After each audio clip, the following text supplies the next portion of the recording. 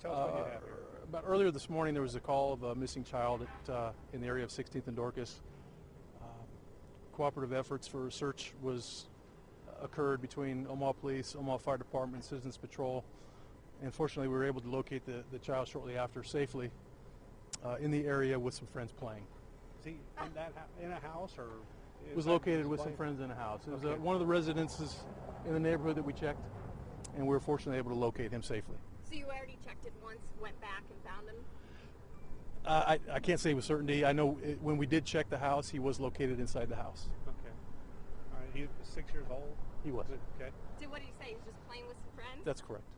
That's correct. So it, it uh, turned out to be uh, a fortunate uh, ending. Is this kind of a teaching lesson for parents to keep track of your kids? That's always a, uh, a very good idea. It's, it's good to know who your friends are playing with, where they're at, and, and uh, what's going on in their lives at all times. So, like I said, this came to a safe conclusion, which is a good thing. It is a, like a standard response when you know that there's a kid missing, and it's been I think it had been a couple of hours before you guys got the call that he had been missing.